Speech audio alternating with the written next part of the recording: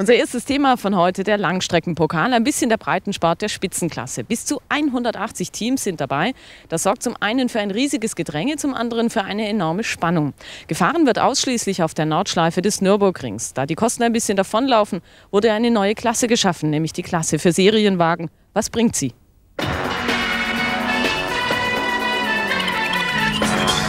Er ist vielseitig und einmalig auf der Welt. Der Vedo Langstreckenpokal auf dem Nürburgring zieht DTM-Piloten ebenso an wie Hobbyfahrer.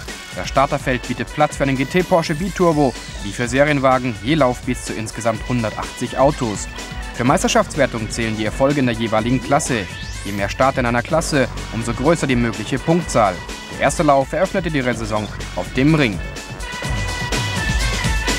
Also der Rost vom Winter, der ist wieder weg. Damit auch die Serie selbst keinen Rost ansetzt, gab eine neue Klasse beim Auftakt zur 18. Saison ihren Einstand, die Serienwagenklasse. Ich glaube, dass es ein sehr gutes Reglement ist. Es ist kostengünstig. Wir versuchen mit unserer Firma ein vernünftiges, billiges Auto zu bauen, sodass man auch das Fahrzeug für den Straßenverkehr nutzen kann, nicht Riesentransporter erforderlich sind und vieles mehr. Also hier im Innenraum sieht man, dass äh, der Großteil serienmäßig beibehalten ist. Was eigentlich zu erwähnen ist, sind die Sicherheitsvorkehrungen, Überrollkäfig, äh, Sportlenkrad, Hosenträger, Gurte und Sportsitze. Das sind alles Artikel, die relativ kostengünstig zu haben sind, aber einfach in Sicherheit unglaublich beitragen. Was zusätzlich noch eingebaut sind, sind äh, Kontrollinstrumente, also keine Leistungssteigerung, sondern nur zur Funktion, Überprüfung, Temperaturen, Öldruck und diese Sachen. Alles andere wird serienmäßig beibehalten, auch die Motorisierung ist serienmäßig und somit kann man ein äh, schönes Rennauto für wenig Geld bauen.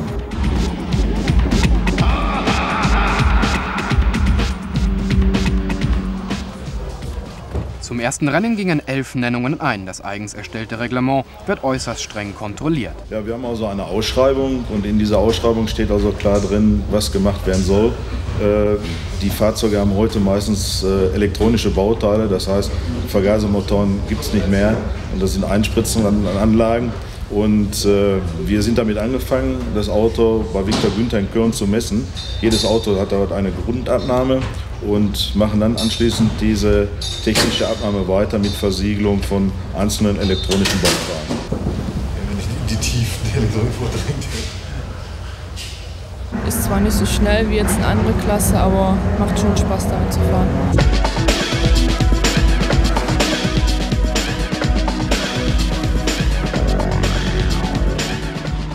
vor allem für die jungen Leute, denn Motorsport wird jeder Tag teuer. Und das ist dann eine Klasse, mit der man äh, mal mit wenig Geld das ganze Jahr durchfahren kann.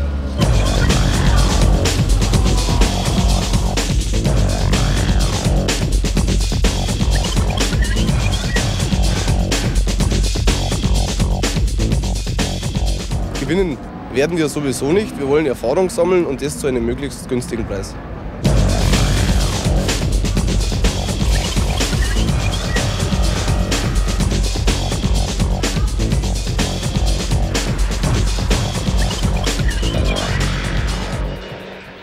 Neu im Starterfeld ist ein Rover 220 GTI, ursprünglich im Werksauftrag aufgebaut. Das aus England stammende Auto wird von Michael Hess und Christoph Esser eingesetzt.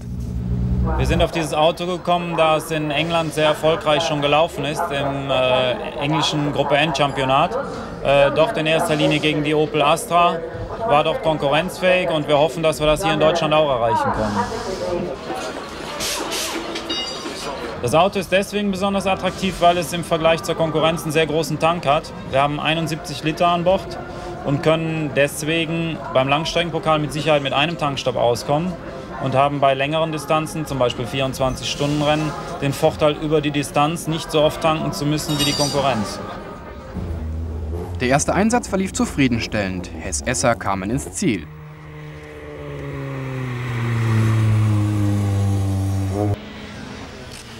In der großen VLN-Familie sind neben seriennahen Fahrzeugen wie dem Rover oder den Serienwagen auch ehemalige DTM-Fahrzeuge zu Hause, wie zwei Mercedes 190 Evo 2. Einen steuert DTM-Aussteiger Olaf Mantei. Da stellt sich für seine Fans natürlich die Frage, warum ist er denn nicht mehr in der deutschen Tourenwagenmeisterschaft dabei? Gut, die Gründe sind mit Natürlich auch finanziell. Die DTM ist sehr teuer, das weiß jeder. Und, äh, aber für mich haben sich auch andere Perspektiven ergeben. Ich setze jetzt schon mal vorab in Belgien äh, für den Eddie Josen einen Evo 2 im Baujahr 92 äh, für die belgische K-Glas-Meisterschaft ein. Und vielleicht komme ich ja mal vielleicht als Teamchef wieder zurück. Neben Mantai kehrt auch BMW-Pilot Georg Severich ganz zum Langstreckenpokal zurück. Also für die DTM hätte ich äh, enormes Sponsorgeld besorgen müssen und das war dieses Jahr nicht möglich. Und da ich auch Realist bin und den Motorsport nicht zum Leben treibe, sondern aus dem Hobby, kehre ich wieder zur Langstrecke zurück und hier kann ich auch, wenn es gut geht, gewinnen. Und das ist auch gut für die Psyche. Ein weiterer DTM-Aussteiger ist das Kissling-Team. Ihren Opel Omega sollten eigentlich die Titelverteidiger Senge Fritsche steuern. Warum fehlten sie beim Saisonauftakt? Wie üblich im Motorsport ist alles eine Preisfrage. Und wir sind also dabei, zurzeit noch Sponsorverhandlungen zu führen. Die Saison hat uns schon eingeholt, das erste Rennen steht an. Um überhaupt am Start zu stehen, mussten wir natürlich noch mal mit dem letztjährigen Meisterauto fahren. Aber wir hoffen, dass wir einmal zum zweiten oder dritten Rennen mit dem Omega antreten können. Und dieses Meisterauto, ein Opel Astra, ist heute unser Kameraauto mit den Fahrern Roland Senge und Heinz Otto Fritsche. Zunächst aber die erste Startgruppe mit den trainingsschnellsten Mantai Richter und Franz Dufter. Dahinter der Ex-DTM BMW von Felder Möller und Edgar Döran als bester Porsche-Fahrer. Der schwarze Mercedes von Andreas und Ralf Schall auf Startplatz 6. Nach dem Start behält Olaf Manter wie erwartet die Spitze. Dahinter schon Werner Felder, dann erst Franz Dufter, gefolgt von einem Porsche-Trio mit Edgar Dören am Ende.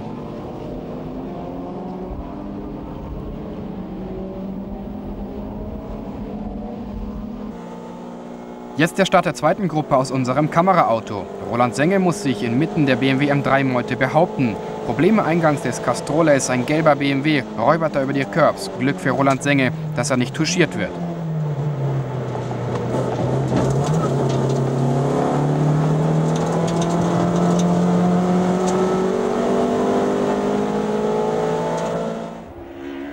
Spitze des Gesamtfeldes setzt sich Olaf Mantei immer weiter ab. Dahinter Werner Felder, Franz Dufter mit den schwächeren Gruppe A BMW und Edgar Dören im gelben Porsche. Dören fällt allerdings später aus. Im Verfolgerfeld Andreas Schall im schwarzen DTM Mercedes, der 1991 vom Franzosen Alain Codini eingesetzt wurde. Olaf Mantei driftet über die Curbs, kann sich immer weiter Luft von den Verfolgern schaffen. Severich kämpft zwar, scheidet aber später ebenfalls aus. Unglaublich spannend war der Zweikampf in der seriennahe Gruppe N zwischen Roland Senge und Wolfgang Kudras. Senge muss Kudras auf der Geraden passieren lassen. Holt sich aber kurz darauf die Führung zurück.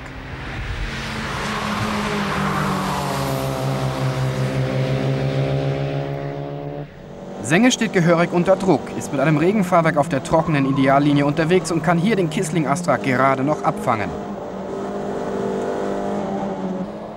Roland Sänger, der Titelverteidiger, bleibt in Führung, kann sich sogar etwas von Kudras absetzen.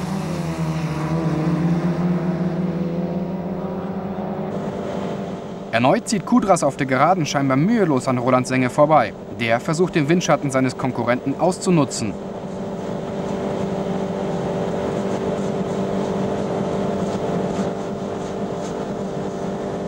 Und kann Anschluss halten.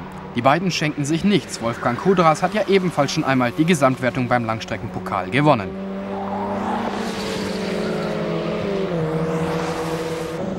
Dann verliert Roland Sänger jedoch den Anschluss.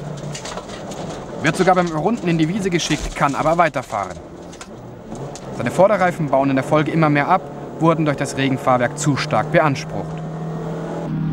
An der Spitze ein Wechsel. Olaf Mantei war an der Box. Um auf Slicks zu wechseln, startet eine Aufholjagd.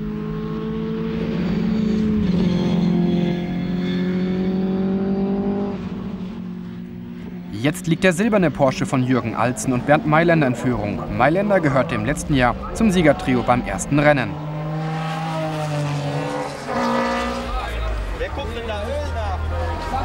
Dann der längstfällige Boxenstopp von Roland Senge. Wertvolle Zeit geht verloren und Heinz-Otto Fritsche nimmt einen erheblichen Rückstand mit auf die Strecke. So viel sei vorweggenommen, er konnte den Rückstand nicht mehr rechtzeitig aufholen. Derweil hat Olaf Manta die Spitze zurückerobert und wird zum Boxenstopp erwartet. Uli Richter steht zum Fahrerwechsel bereit. Da kommt die Meldung von der Strecke. Ausfall durch Schaden an der Antriebswelle. Somit schießen Felder Möller mit ihrem M3 an die Spitze. Dahinter Franz Dufter, der jetzt selbst zum Wechsel an die Boxen muss. Ja, ich meine, gut, wieder erwarten haben wir vorne doch eingreifen können. Zum Teil war es ziemlich glatt draußen und man hat also echt aufpassen müssen. Aber sonst im Großen und Ganzen ist für uns super gelaufen. Es gibt wieder ein bisschen Schnee. Ich hoffe, der Klaus bringt das Auto ins Ziel. Und wir sind auf jeden Fall weit vorne. Klaus Scheer verlor allerdings einige Plätze und kam als Sechster ins Ziel. Doch auch ohne Mante Richter war der Mercedes-Stern nicht erloschen, denn Ralf Schall setzte sich an die Spitze. Vor Felder Möller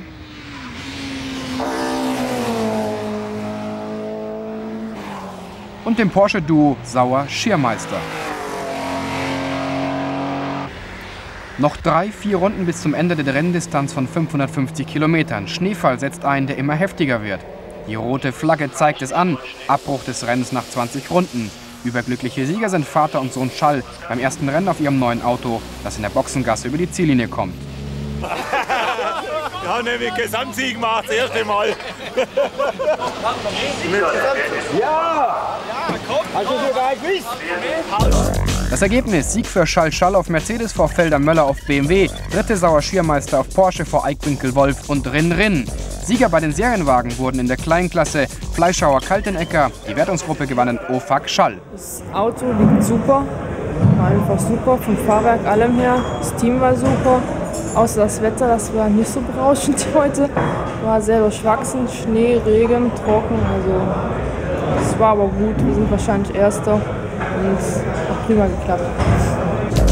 Hier noch der Blick auf das Klassement des Langstreckenpokals nach dem ersten Lauf in Führung die Opel-Piloten Kudras und Jakobs vor den BMW-Fahrern Scheid, Wiedmann und Vlasik Katthöfer.